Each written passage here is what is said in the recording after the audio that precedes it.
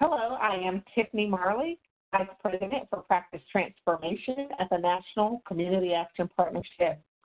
I'm pleased to welcome you to today's Webinar Wednesday, Leading Through Innovation, featuring Mahube-Otwa Community Action. As we begin today's presentation, I would like to invite us to ground ourselves in the promise of community action, which is CERT. Community action changes people's lives, embodies the spirit of hope, improves communities, and makes America a better place to live. We care about the entire community, and we are dedicated to helping people help themselves and each other. And so I would also like to invite us to turn our attention towards the Learning Communities Resource Center. Uh, this effort really aims to help community action agencies analyze outcomes and identify effective, promising, and innovative practice models that alleviate the causes and the conditions of poverty. At the end of the day, our project aims to help build community action agencies' capacity to fight poverty more effectively. I must also uh, say that today's presentation couldn't happen without wonderful Learning Communities Resource Team, Learning Communities Resource Center team.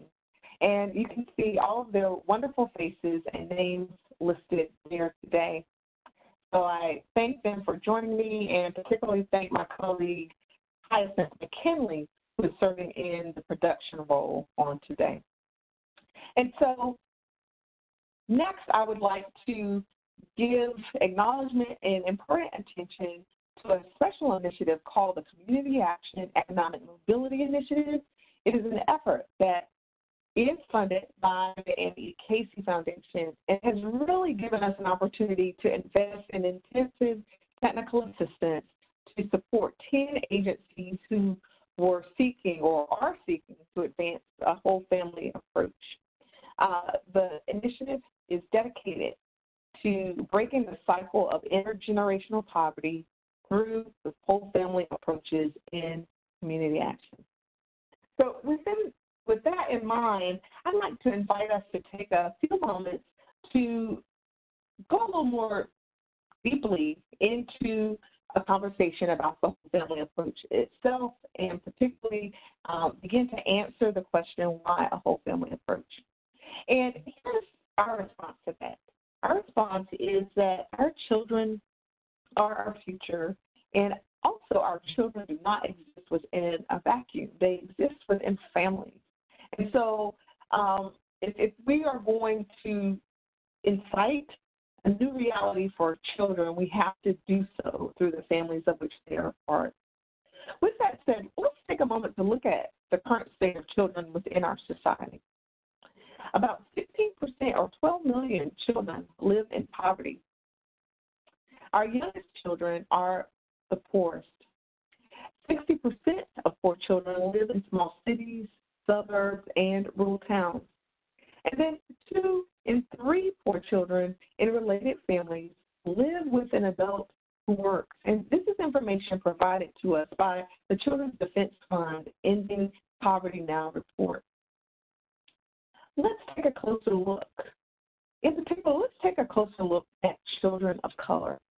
While projected to be the majority by 2043, children of color are disproportionately impacted by poverty, resulting in the lack of access to the opportunities and resources that they need to thrive. And this is as conveyed by the W.K. Kellogg Foundation report on a business case for advancing racial equity. The truth is that growing up in poverty undermines healthy child development and can perpetuate negative impacts for a lifespan.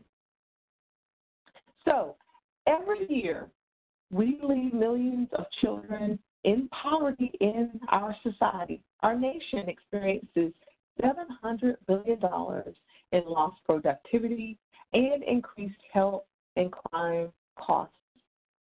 And so, as we as we as we look to the future, uh, And particularly in, in light of the, the trends that we have, have just heard, not only uh, is the social and economic future of children and the families of which they are a part of at stake, the truth is the future social and economic security for all of us is at stake unless we do something. And as we think about this whole notion of the whole family approach and innovations like it, it is these kinds of interventions or efforts that really seek to interrupt that that that that statement that I just offered to us. And really the whole family approach invites us to look towards a new vision, a new vision that really pushes us to achieve results beyond anything we have achieved before. And it starts with this whole notion of meeting families not where they are, but meeting families where they dream. Additionally, there is a focus on maximizing people's or families' potential to contribute to the civic, social, and economic lives of their communities.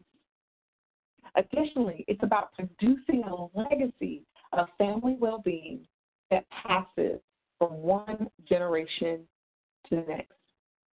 And so, really, as we think about the whole family approach and innovations like it, the end game is to accelerate social and economic mobility for families.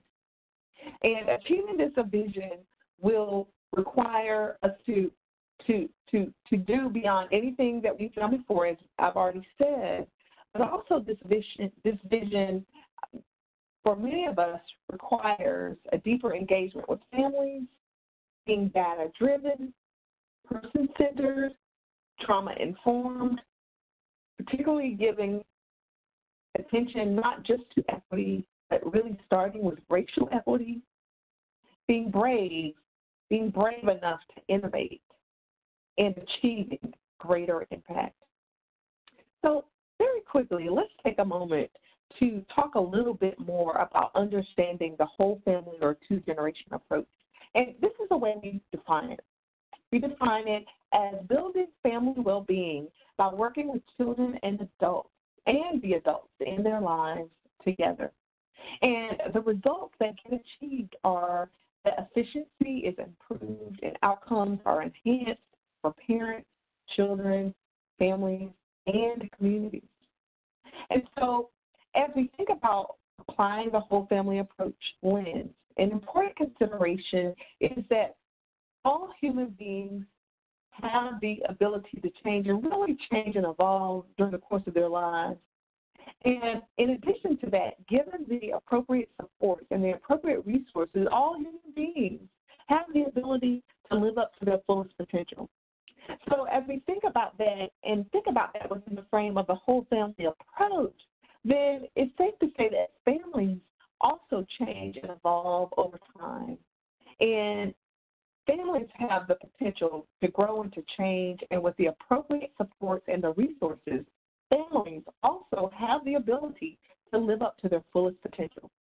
So, providing integrated, high quality, intentional supports to parents and children at the same time a whole family approach has the potential to improve both parent and child social and economic well being, producing a legacy of family well being that passes from one generation to the next. And here's some good news there's science to back that up. And so there is new brain science that is out that says that not only um, children who have experienced certain levels of toxicity at an early age, not only do their brains change with um, certain supports and interventions, but their parents' brains also change at the same time. That really um, leads to some some groundbreaking um, possibilities uh, for the family. And so, as we advance to the next slide, that illustrates the Ascend to Gen continuum, Ascend from the Aspen Institute.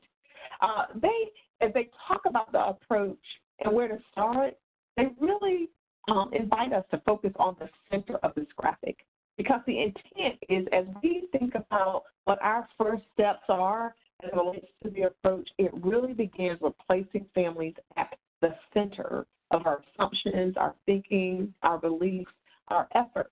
And while maybe historically an organization may have been primarily child focused or may have been primarily parent focused, the aim is to to transcend all of those elements in between to ultimately get at uh, what the family needs and really work in partnership with them to drive change for the family. And so on the next slide, Ascend's theory of change uh, says the following that with, like a family forms, and really a family is what a family defines itself to be. So that's an important thing to assert. And that together, all members, the children, the adults in their lives, the entire family, when they're able to draw on education, economic support, social capital, and health and well being, when this occurs, current and successive generations enjoy economic security and stability. And so as we look at the next slide, we see the um, the what we call the wheels or the cogs and the ascend theory of change. And you know, I'll just state them again. I won't elaborate on them because our wonderful presenter who's with us today is going to elaborate on those in context for, for us today. But just want to emphasize that that that that, combination or that cocktail of services or resources um, that agencies really need to integrate in an intentional way, in, intentional way are early childhood education, post-secondary and employment pathways. And I'll say early childhood education is primarily focusing on children, and then post-secondary and employment pathways are focusing on the adults in their lives, which includes education, skill development, accessing jobs, and those supports. And uh, economic assets having to do with um, stabilizing um, the family's resources, helping them to maximize the resources that they have, tap into additional resources that maybe they haven't tapped into, and then maximizing those dollars that are earned that ultimately um, place the family on a sustainable financial traje- positive trajectory. And then this whole notion of health and well-being, which really um, attends to both the mental and physical um, needs of children and parents, and just the, the wonderful opportunities that are provided um, for children when this is addressed for them to learn and play and to thrive, and then also for the adults in their lives to, to bring their best selves to parenting and um, also to um, consistent um, engagement with work or what they do in their everyday lives.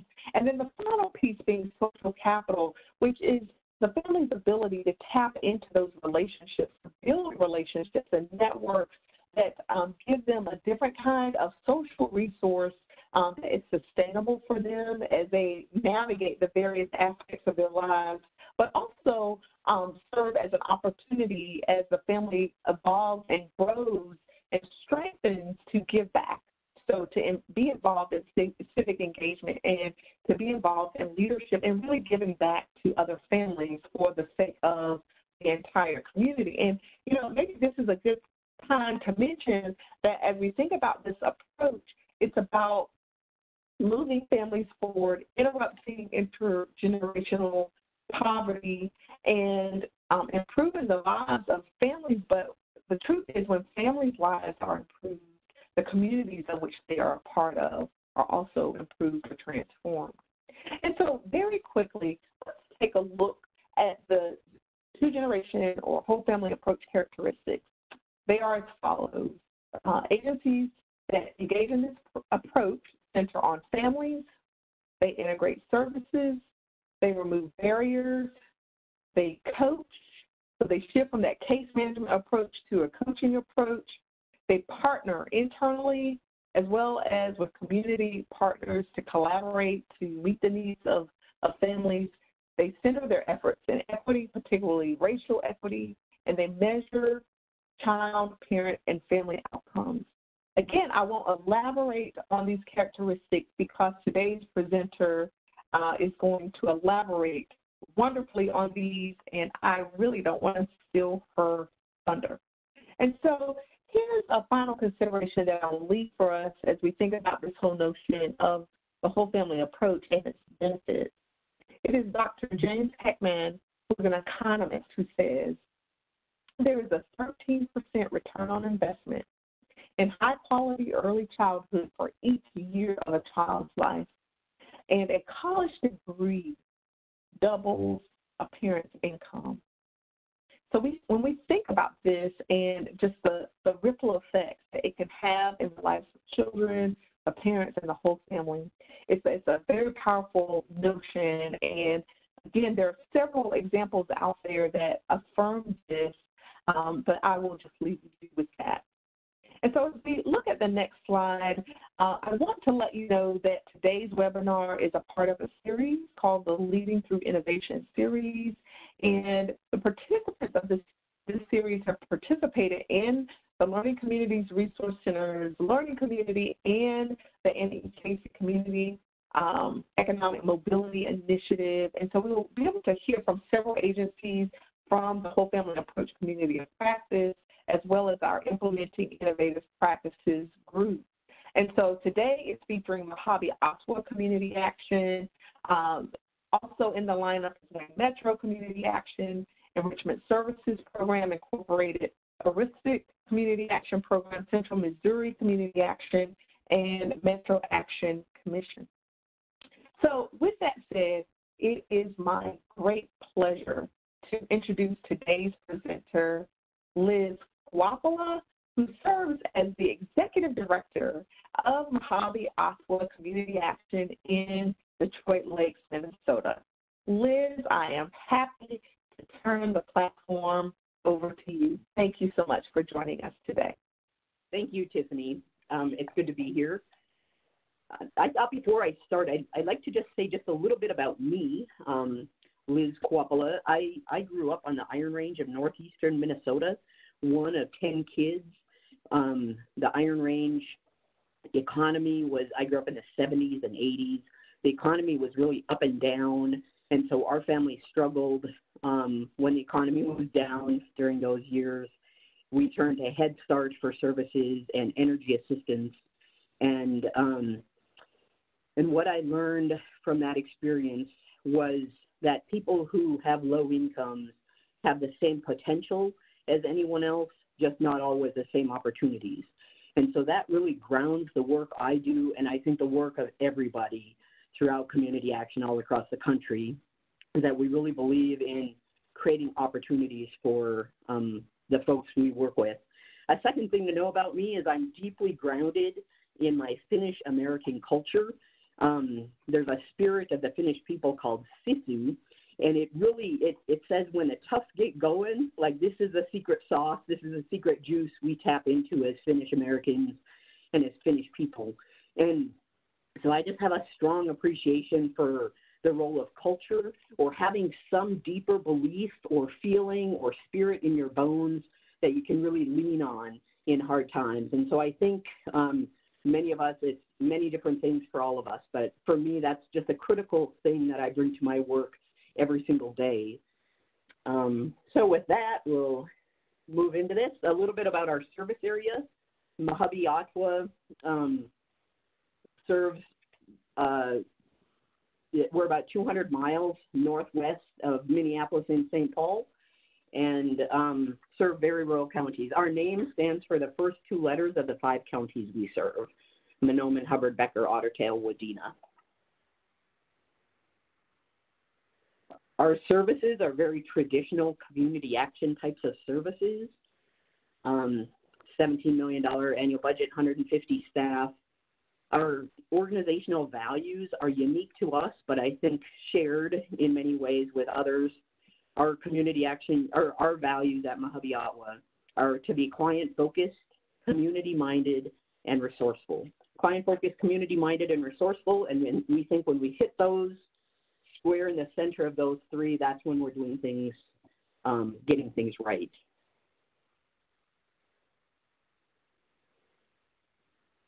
So when we started on our journey that led to the whole family community of practice, I was fairly new at Mahube-Otwa. I'd been here just over three years. And I had a question for board members individually when I met with them.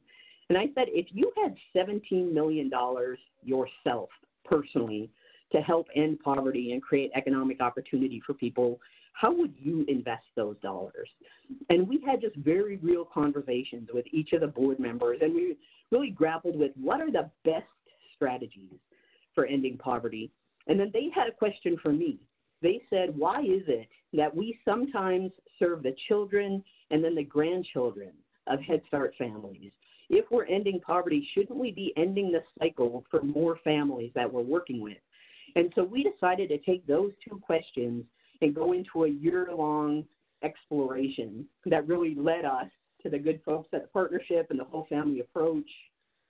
Um, and led us through this moving beyond crisis management, both for the way we serve families, but also just the way we function as an organization. It seemed like our families were often in continual crisis.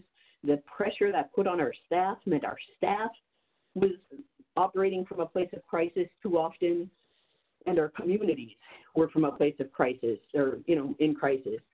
So we wanted to move from a regulative towards a generative mindset and then from a, a, place of scarcity to abundance. And so we'll walk walk through this transformation with a couple of stories. So we had two innovations we came up with.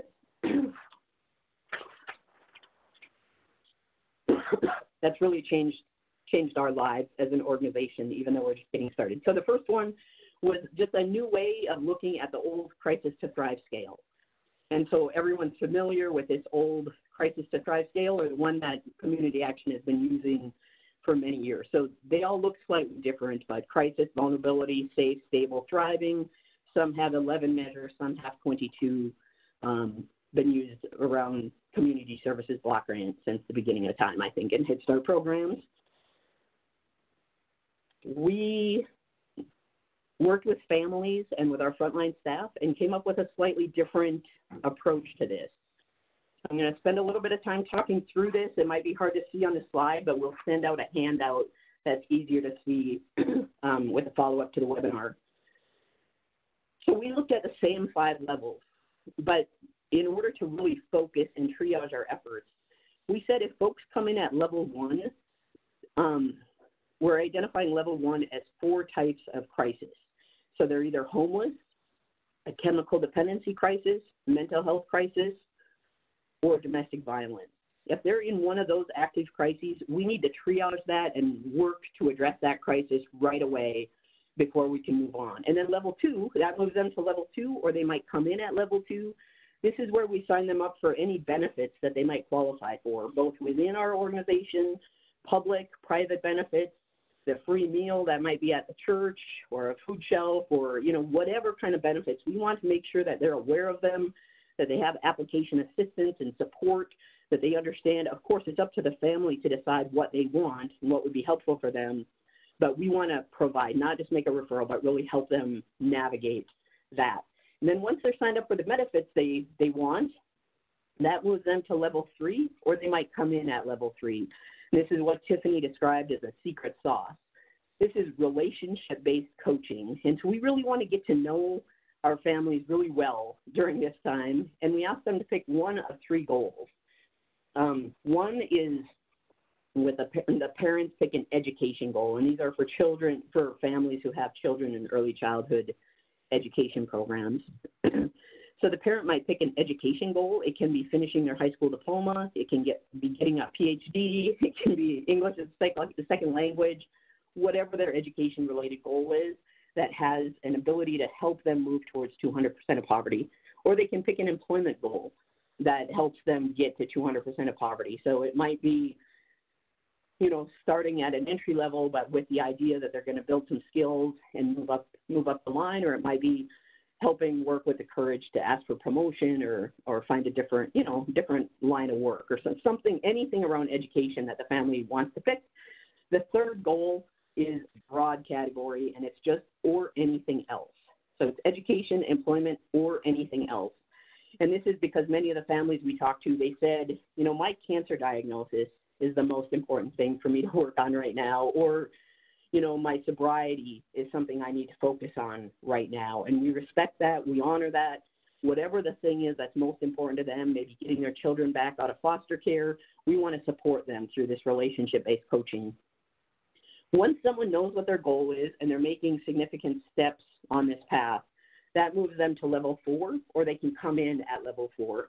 And this is asset building. we define assets broadly so it can be financial assets, it can be their health, physical, mental, emotional health. It can be their connection to culture, it can be housing, um, backup childcare, backup transportation, friends and family network. Um, we do the wheel of life assessment and they pick which of the assets are most important for them to work on once they're working on some kind of asset development, and for all of us, it takes a lifetime of building. So we just want them to be on a path, be having some confidence around that. And then that moves them to level five, or they can come in at level five. And this is giving back, leadership development, volunteerism in the community, peer mentoring, lifting others up, working for us, you know, any any of that. Then we recognize too that all of us, even as we're climbing up these steps, we have setbacks. We sometimes fall back, and um, we respect, we honor that, and then we just help move forward again. But it helps us identify where people are at, and helps um, helps us move them to the next level. So one thing that's interesting for me about this is it's helped us think less about what funders want. Of course, we want to keep our funders happy, funders want to know what our enrollment numbers are, how many people signed up for this service or received that benefit. What we want as the organization is to see how many families are moving up from what level to what level and what kind of community supports we need, what kind of services we need to provide. So this is our first innovation. Um, come back to that later. The second innovation is related to this relationship based coaching and the platinum rule, which is treat others as they want to be treated. And so we recognize that our clients are fully complex human beings with strengths and gifts and potential, and we're really working to view them through an intersectional lens through all the levels of complexity. So I'm going to walk through a few things of what this innovation, our second innovation means for us. This is a confusing slide, but we'll walk through these one at a time. Um, so for us, seeing someone as they want to be seen means that we simultaneously focus on all of these aspects family voice, a whole family approach with integrated high quality services, trauma informed care, an equity lens, and moving towards generative on a human services value curve. We do this all at the same time. Um, so, and we see this as different ways of looking at the same issue of how do we meet people where they are and take them to where they dream. So I'll walk through these um, one at a time to spend a little more time. So when we set out um, last year we looked at our at our data, and so we're not real proud of these numbers, but this is where we were at. We just anecdotally, when we look at our Head Start families, we assumed that most of our Head Start families receive many of our other services because we're, you know, co-located in the same building in many cases. Um, we know our colleagues. We refer to, you know, refer each other. But when we looked at our data, we found that only 5% of our Head Start families were accessing our family planning program in the past year. Only 8% had received our free tax aid services. Only 44% had received energy assistance, and only 9% had received this is a Minnesota State program, Family Homeless Prevention and Assistance Program, which is a very flexible resource to help people who are struggling with um, making their rent. So, um, so our takeaway from this was, whoa, we can do better. And so we've um, worked at cross training our staff to make sure staff understand what the different programs are.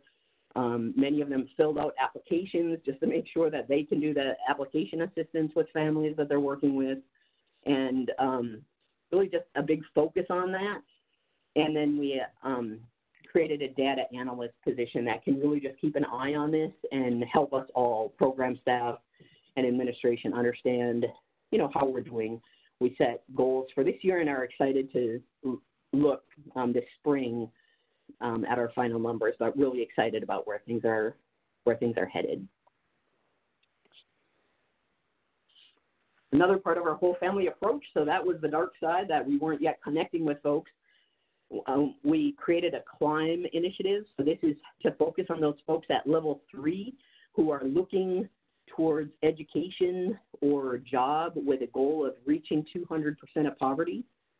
Um, and so with this relationship based coaching, we're working on things like the wheel of life for them to identify their goals, strengths finder to really tap into their strengths, created an incentives program so that we can help people, um, you know, with gas tokens, gas cards, and that kind of thing, um, sort of as a reward for reaching a goal.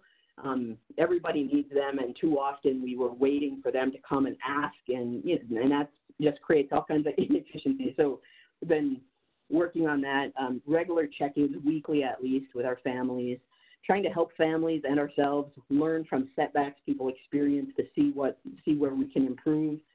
Um, added coach positions to um, reduce caseload sizes for our staff, and then added a coach mentor position to help those coaches just kind of debrief and strategize together about how they can best help help families. So that's the Climb Initiative. Um, equity, um, our work has to be centered in equity uh, um, for us to really help end poverty. So, a few things we've got going on. We've got a long way to go on this.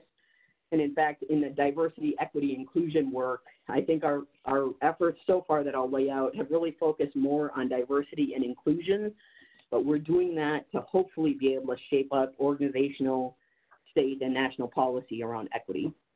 Um, so our board has added some, um, has been doing a study about impact of race, and they've added some, or as board positions have become available, really prioritize adding um, folks of color. So now one third of our board are people of color or indigenous folk.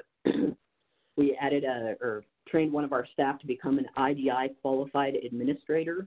And so this is just a cool tool. If you're not aware, of, familiar, encourage you to Google it, look into it, the Intercultural Development Inventory.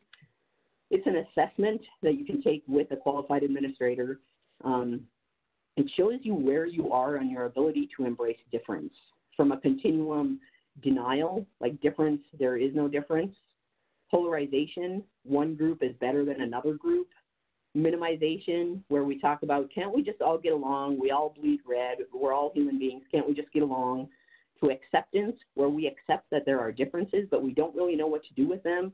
To adaptation, where um, where we learn from each other, and because we work together, um, we do better. And so the this assessment tells you where you think you are on your ability on this continuum, and then where you are according to the assessment. And most of us think we're a little further ahead than we actually are. And so then the assessment, the results give you a action plan on how you can move since you already think you're there, what kind of things you can do to move forward. And one of the things that they tell us we can do to move forward is just introduce ourselves to cultures that we might not be aware of. And so we have a film festival, it's Black History Month, and so at our at our offices on Fridays, we're showing the movie Hidden Figures about the black women of NASA who helped us put a person on the moon. But you know, Native American History Month, we did Trail of Tears, just a range of different things we've done for our film festival. We also try to recognize um, agency-wide, just by an email and discussion, um, recognition days like National Coming Out Day or Day of the Dead as just an opportunity to learn, be introduced just a little bit to a culture that we might be a little less familiar with, but that our clients and people in our communities live every day.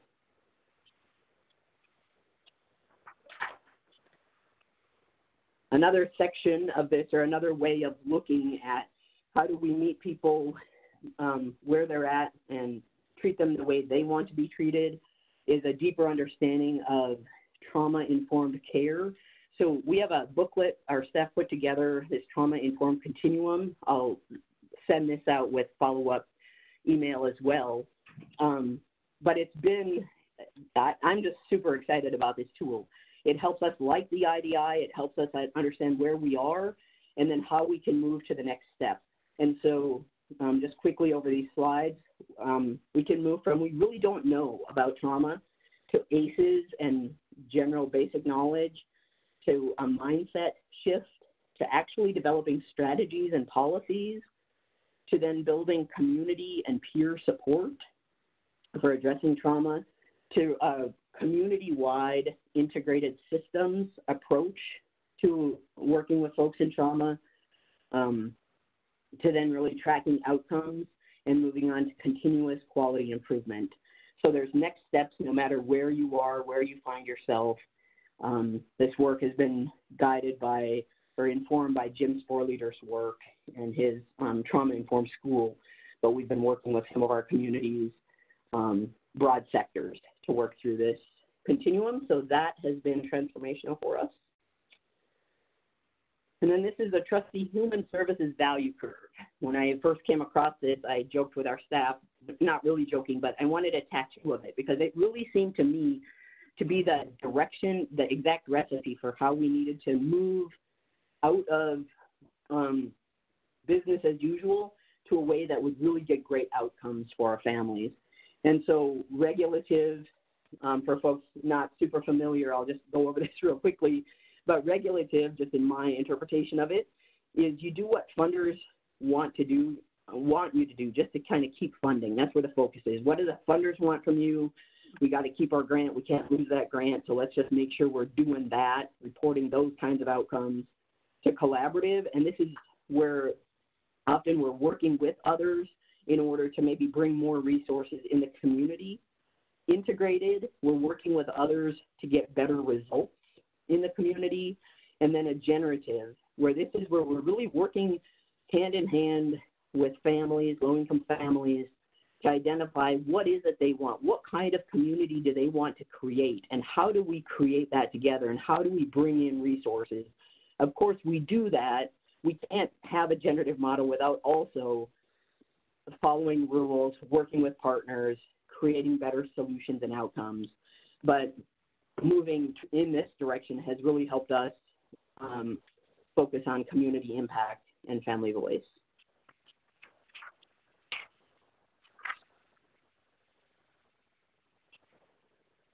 Which brings me to some things we've been working on with Family Voice and tools we learned from our experience with the community of practice.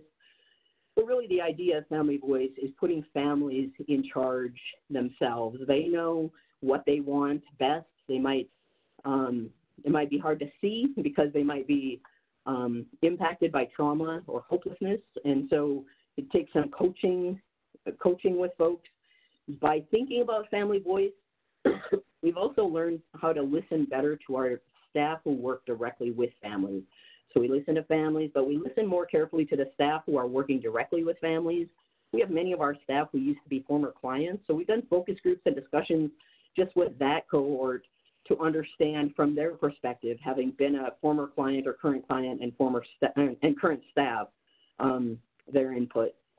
DEED internships is just um, so we got some funding from Minnesota state government to create positions for our clients to work in house at our organization in different tracks. So we have an IT track, an early childhood track, nursing, um, various tracks so that they can get some work experience in a paid internship and see if this is an opportunity for them or or they'll take those skills elsewhere in the community.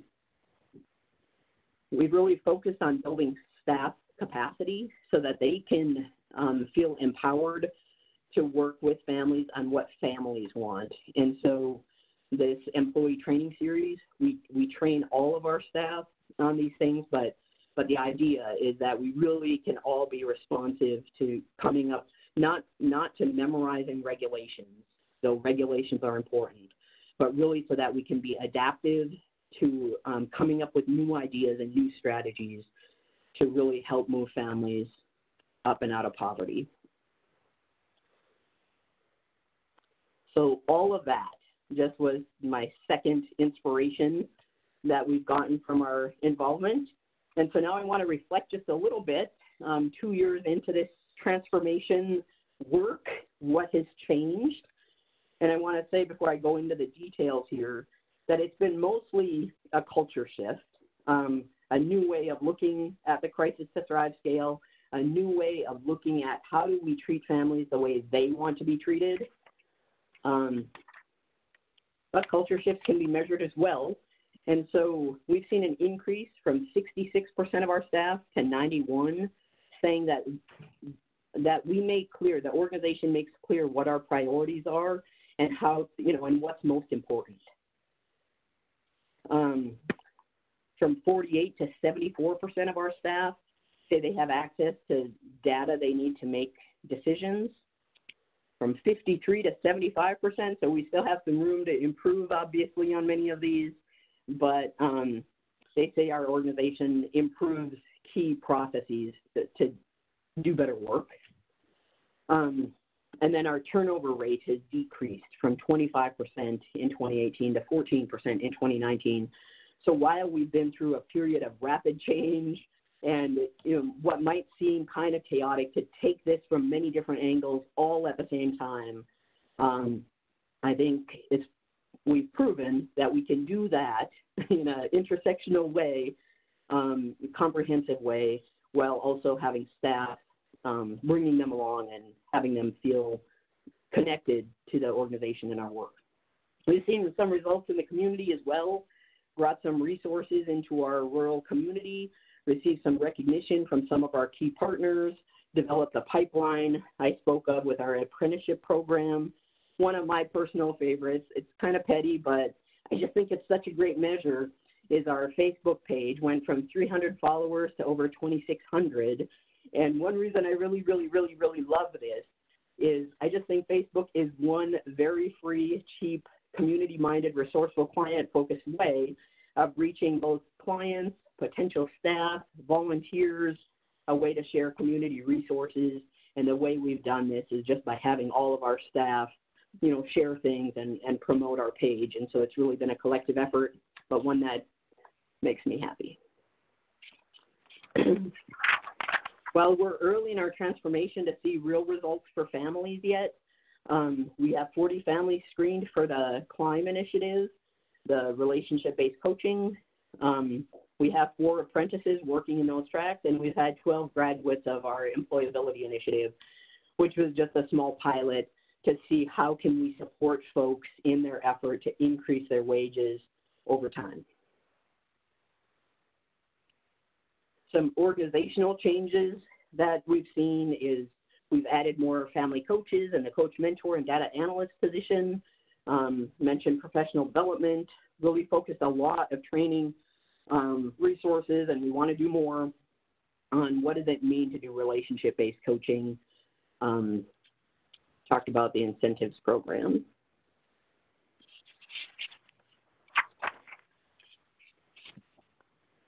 So some aha moments for us on our journey is um, when we started, our staff um, were really, really overwhelmed with all of the work they had to do. And there's so much work and there's so much need. Our communities have a lot of poverty. Some of the most impoverished counties in the state are in our service area. And so when we first started these conversations, the feedback I got from staff across the organization, I feel, you know, along with a deep passion to do more, obviously, if we could, was that it's impossible to do more. We've had more and more and more put on us for ages. And by working, by developing small teams of folks to tackle different parts, by keeping a focus on our values, I feel like now the thing staff tell me is that they're impatient to do more. Let's get this thing rolling. Can we do more? Can we sign up more apprenticeships? Can we can we help more people? Um, so really slow and steady, I think, um, got us through some. And and you know we still we still need to comb through just some of the work. There's a lot of forms that change, the way we track data, the way we input data.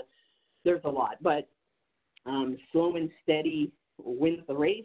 Um, we think just spending time um, figuring out where we're going, where we're at, where we need to go next um, to help us stay focused um, has been helpful for us. Really focusing on organizational culture, values, outcomes, and and then making sure we create the staffing positions we need as we continue to evolve our, our approach has been very helpful. So I wanted to share, we also tapped into resources that the National Partnership has had to offer and has. So wherever you are in your journey, um, we found these helpful, kind of tapped into them pretty early. So the Code of Ethics, um, there's 12 ethics, and we focused on one each month. They're on the partnership's website. And um, so I wrote a director's dish about that ethic in our monthly staff newsletter. Many of the staff teams um, took discussion questions that I recommended from, you know, others in the network, but and talked about that ethic and really dissected what does this mean for us? Um, what does it mean to serve the best interests of the poor? What does it mean to keep yourself informed about what's going on um, on issues of poverty? What does it mean to really believe in investing in professional development for our staff? Um, what do those things mean, and what do they mean in the context of this journey we're on towards a whole family approach. And then what and so we a lot of focus on the ethics, and we think that's a great place, a great intersectional way of starting. A, um, if if you're not using that tool, um, a really easy one to pick up. We also took advantage of the Pathways to Excellence process through the partnership, and um, this was a different committee. So we have a bunch of different committees doing a bunch of different things. But I think by going through this process, so for folks not familiar, this is where you do a comprehensive assessment of where where you are according to all of these different measures of excellence and how you stack up. The idea is how you how your practices and policies at your organization stack up to the very best practices and policies of the very best organizations in that you know on that topic and so I think what it did for us to simultaneously work through the Pathways to Excellence process is it created a culture of continuous quality improvement. We know we can't fix everything, but when we're digging hard to see where can we do better, how can we do better, um, that has led to helped us, I think, think through more generative approaches. And so highly recommend that. The Certified Community Action Professional um, CCAP, we hadn't had any CCAPs at our organization. Um, we did three one year, added two more. We've got three more. So most of our leadership staff now have their CCAP, and um, and so it's helped us really have a shared understanding of the history and vision of community action, and given us a strong base to really lead some of those generative approaches when we can think about what happened in the 60s and what happened in the 70s and the 90s and why did they do that thing in the 80s, it's helped us think ahead to 2020 and 2030 and beyond. The whole family community practice, I just cannot say enough good things about the peers we had, the support from the National Partnership staff. Um, there were 10 cohort member agencies that I think we'll be hearing from in the months to come, but um, just when we were stuck, it seemed like they always had it figured out, or they had an answer, or they tried something, and and that just built a community um, that I can't say enough about.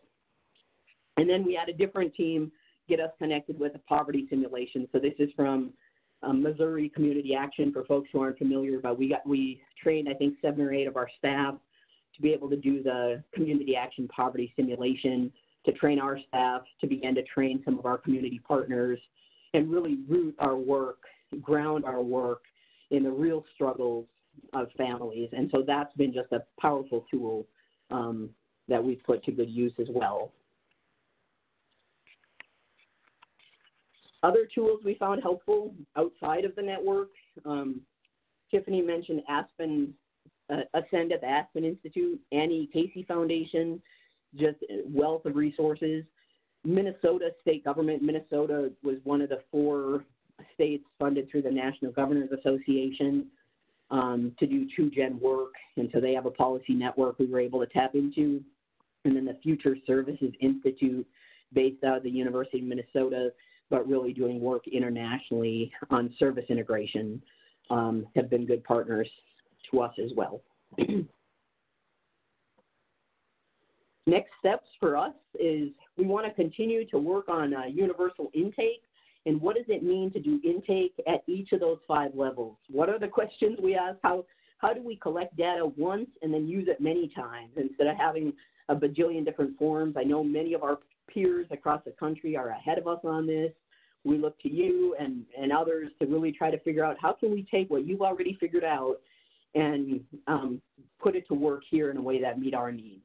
So um, that's something we've got ahead of us. We want to continue to refine our data tracking, and you know, data is only as good as the information put into the system. And so, how can we make sure we're asking the right questions?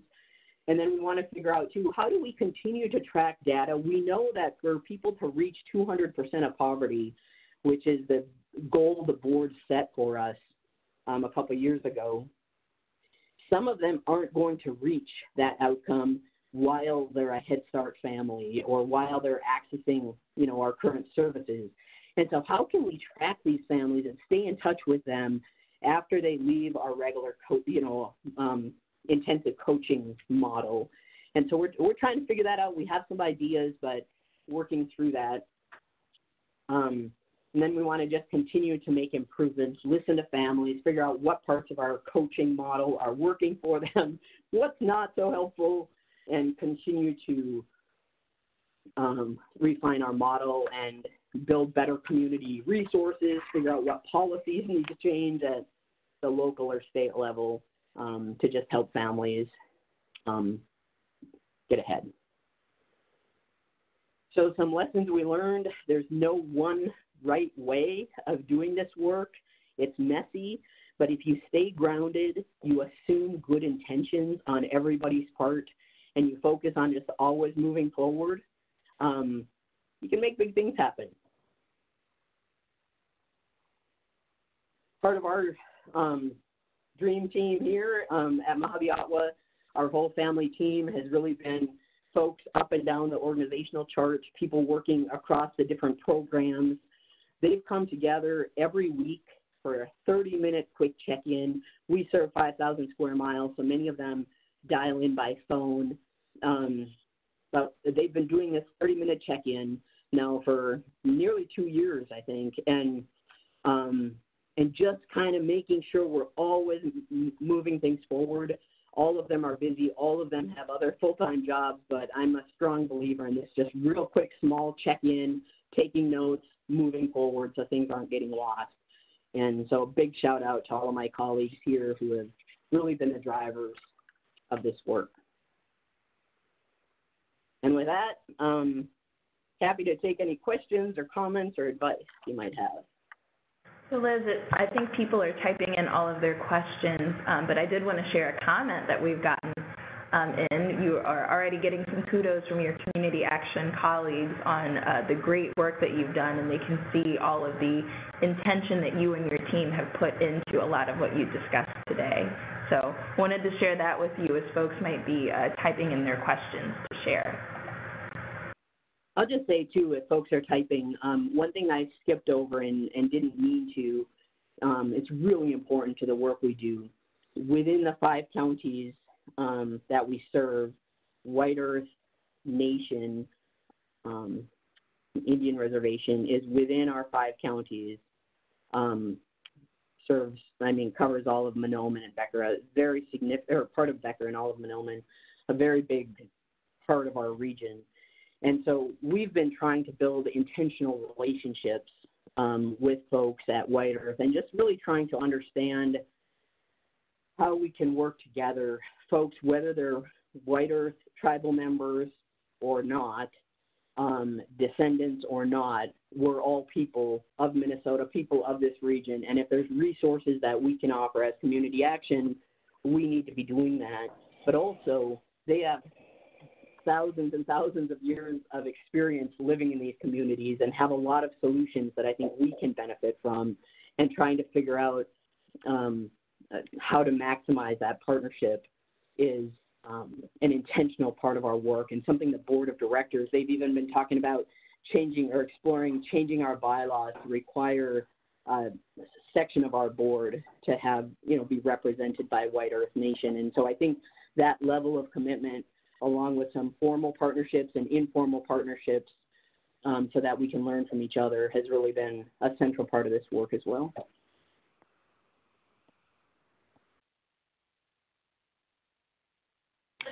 So, Liz, uh, this is Tiffany. Can you talk a little bit more about um, some of the intentional efforts that you made to ensure that your leadership and your staff um, were up to speed about um, their general understanding of the pr- approach, and then also um, the the agency's efforts to advance the whole family approach. Can you say a little bit more about that? So several things. I think one is we've had we've had a Head Start Early Head Start Child Care Partnership program for a long time. You know, since um, since those programs started, and and and we're fairly innovative. I think back in 1986, I think it was that we opened, or it might have been 1996. We opened a Head Start program um, uh, center at the local community college so that we could help um, provide high quality services to children while their parents were going to school. And so that's two of the years. What what I think we wanted to focus on is how do we take that with a more intentional approach? What additional partnerships do we need? How do we focus not just on the school readiness goals that Head Start had kind of moved to in the past couple of decades, but how do we focus on really the whole family moving forward? So we started, as we do all of our um, deep conversations, we started with the board of directors and talked about our mission is um, helping people achieve self-sufficiency. And so what does self-sufficiency mean? And what does it mean in this community where, um, you know, with very strong um, Native American culture, where um, it's the opposite of self. You know, like it's it's a community in some ways is the opposite of self sufficiency. And so, what does that mean for us at Mahube-Otwa, and how do we move forward, and and how do we define that? How do we help each other? You know, like um, I personally have never been self sufficient. You know, I've always relied on people, and so through those conversations, we talked about um, heading to 200% of poverty, and then looking to our families to our frontline staff and others on what will it take to help families move from where they are now up to that 200% of poverty. And so um, the webinars have been certainly helpful. We've been able to participate in trainings um, regionally. We had Tiffany come out and um, talk at our all staff meeting.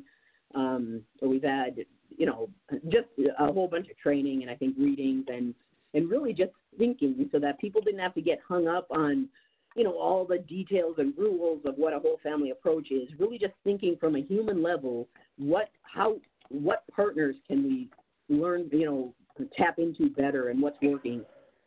We we came up with a few pilot projects. One was this employability initiative. So we said let's just take one of our communities focus um, work with employers talk to our employers about what what does it take for people to succeed at your business? And what does it take when people fail? Like what's present? And then from those conversations kind of came up with some um, advice i guess or like ways of thinking about just just employment from two different perspectives. So someone tardiness for example if if someone's tardy on you know when they come to work late they might feel like they did a really good thing because they stopped in our very rural community and helped someone fix a flat tire and they might feel like really good about that and they get to work and then they're docked for showing up a little bit late. And so you know kind of understanding how how did two different you know uh, how to kind of communicate across these different cultures um, cell phone use is another thing that you know how do employers see cell phone use? How do young parents see cell phone use, and how can we like how can we understand how each other see it, and how can we support? So this employability initiative was really looking at how can we help people work with employers, listen to employers, talk with employers, also work with employees, potential employees, and really try to bridge those differences and understanding kind of a little laboratory pilot program. We did another pilot program that was just built around social capital. So we asked church church members, community members, business people, volunteers to pair up with a low income person in their community and kind of come come to um, these classes and learn together about yeah um, love and logic or you know and just kind of learn about resources. So a story i just heard this morning was the other day um, at one of there was a bowling event where these folks came low income folks middle income folks who were kind of pairing pairing with them and just kind of building community together. And um one of them they're both sewers these two and one of them needed some kind of pattern from another one and she had it. And so they were connecting after the event to share that. And i think so that just trying to understand how do we build community across things has been helpful and we did it at a small pilot level and another last and i'll take some questions but another pilot level thing we tried was just understanding more um, intentional relationship based coaching. So we gave a smaller caseload to just one of our staff to just really focus in on community partnerships. When you when you can really drill down on what a family member you know could benefit from, what the barriers are, and you have time to really think about that and time to research community partnerships and who might offer that or what you know what might we be able to bring in um, that that was helpful too. So I think we took a variety of approaches um, to getting where we are, and we still you know still have work to do, I guess. Wonderful, wonderful. Um, this has just been very informative and maybe you've spoken to this a little bit, Liz, but you know, I'll I'll frame it this way. Um, uh, like what advice would you give to an agency that is just starting to think about whole family approach and just starting to ask the question, you know, how do how do how do we do this? How do we get started? Um, now that you have the experience that you have, um, what would you say is the first thing or some of the first things that agencies need to think about or some of the first things agencies need to do as they're trying to get started at the very beginning? Well, we um, great question, and we thought of this, and and I think um, uh, it's frequently talked about as Whole Family isn't a program; it's really an approach. And so, mm-hmm. how can mm-hmm. we uh, how can we like work towards an approach? So that's one thing. But then thinking about how do we change up the way we've been doing things, you know, with a new approach, that is so big and hard to get your head around. And so um, we, I just highly recommend starting with a small group of folks, you know, identify a small cohort and um, and then see with that little handful of families what what systems would look like, how how could things look different, what would staff need training on, what resources do families need, what um, you know, we partnered with Urban Institute on a study of low wage workers who had left employment sometime within the past 12 months.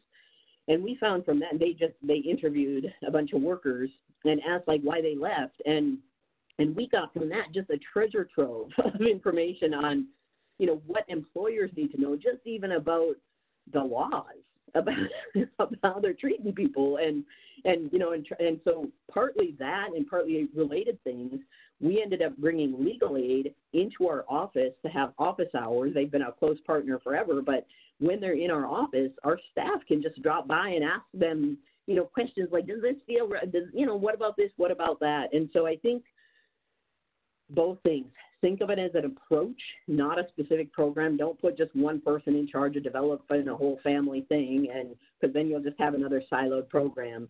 But kind of build a team.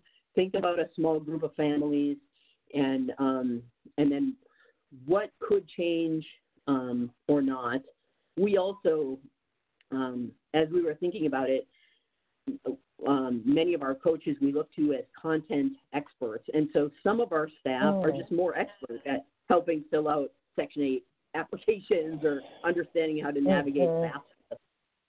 And so I think lining up what what do folks already know and what do they do good, and then how can you move toward that? But I think looking at the specific building blocks of a whole family approach, um, there's the uh, I'd be remiss to not mention the guide, Tiffany, that you guys had. Uh, the can't think of what it was called, but it's how we that toolkit you put together on designing a whole family approach, Mhm.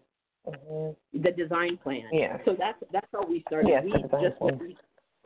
With the these 30 minute check-ins with our whole family team, we just worked through. There's just a bunch of different questions, and we just took 30 minutes each week, and we just got through you know whatever question we could, took notes on it, and then moved on to the next one. And so that's on the partnerships website, the whole family design plan, and um, really recommend because it, it starts with where are you now? What services do you have for children? What services do you have for adults? Um, yeah, really a great place to start, and it's been a great tool for us and helped lay out the whole direction. I think. Wonderful. Thank you so much for that wisdom. Um, Zandy has a question that has come in from the audience. We'll make this our last question. Sure. So, Liz, there's a bit of an intro to kind of give you a heads up. Um, but one of our attendees would like to hear a little bit more about, um, let's see, how you um, maintained uh, some of those weekly check-ins that you talked about um, in meeting with your families, given some of the challenges of being in a very rural area. Particularly, they talked about some of the issues that they have with transportation and internet access. So, uh, can you speak a little bit more to how you were able to navigate those challenges and in your ability to maintain that close, uh, consistent check-in with your families as a part of your pilot project? Yeah, so we have um, we have offices and centers, Head Start rooms, and scattered all across our service area. So that helps. Um, that helps us a lot. Um, but then also, um, you know, trying to meet in person, or our goal is meet in person a couple times a month and check in some other way um, by phone. Uh, we see windshield time, giving someone a ride, you know, to the grocery store or something. That's a uh, something very much needed, and so you can use that windshield time as good time to check in.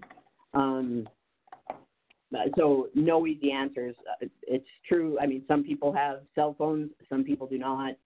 Um, so just being as creative as possible.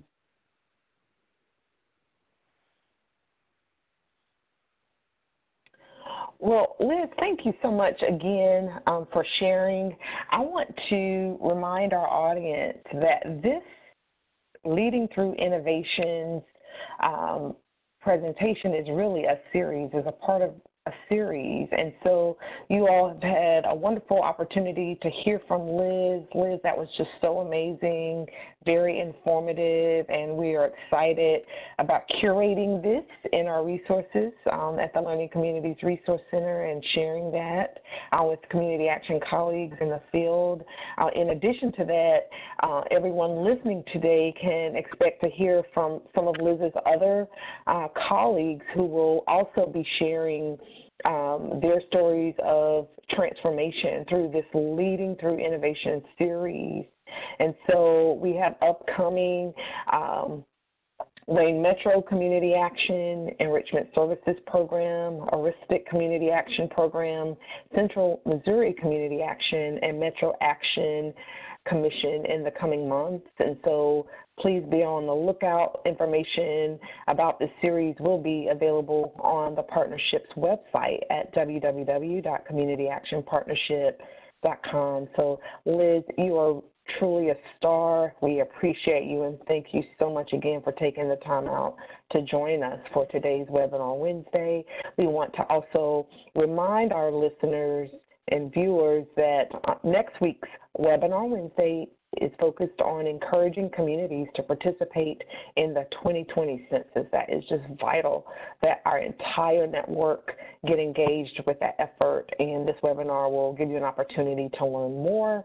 Additionally, on March 4th and 11th, uh, our energy partnerships will be hosting an Energy and Health Partnerships Part 1 and 2 webinar. And then on March 25th, our next Leading Through Innovation presentation um, from the CEO from Wayne Metro Community Action uh, will be shared. And so we thank you all so much for taking the time out of your very, very busy days, your busy day. You didn't have to take the time, but we appreciate you learning and sharing and growing with us at the partnership. So thank you again and make it a very great day. Take care. This concludes today's webinar.